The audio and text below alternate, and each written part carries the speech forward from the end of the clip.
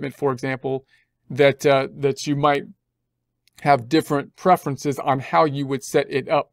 So, and these are things that we talked about. You can, in accounting software, you can do a little bit more of this for the the way the balance sheet will be constructed by using kind of sub accounts.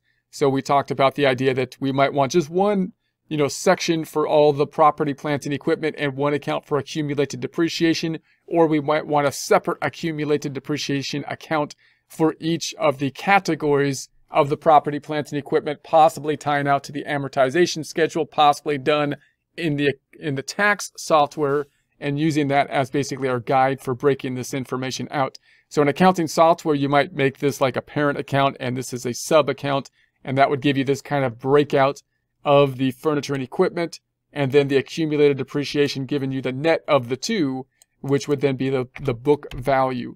So this is often an area that's messed up that people don't do quite right or, or have problems with because of these contra accounts, which actually bring down the, the balance of the assets. And that's often something that throws people off when they're adding this to, and they're also kind of get confused as to how they want to display, how do we want to display the, the book value and the, and the cost and so on, what's going to be the best format there. So we got those here. They, they're going to add up this way. So that looks, looks good. And then we've got our total property, plant, and equipment, which is the sum of the two book values for the two categories that we have. Total assets then being the current assets and the property, plant, and equipment. I can double check each of these categories by taking and just adding up or selecting these items. There's the 133756. Uh, here is the 93027. And notice how nice that is to do by having the credits be negatives here formula-wise. And then if I do the whole thing, summing up the whole thing, we get to the 226783. So that looks correct.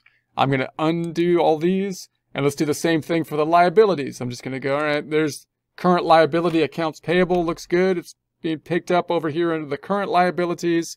We've got the Visa now, the Visa is something that we might not put in place as simply a credit card. I mean, like a Visa, we might call it something like a credit card or other current liabilities or some generic category like that. If we had multiple credit cards, we might combine them together. You could possibly do that with accounting software by uh, having a, a sub account possibly to clean that up.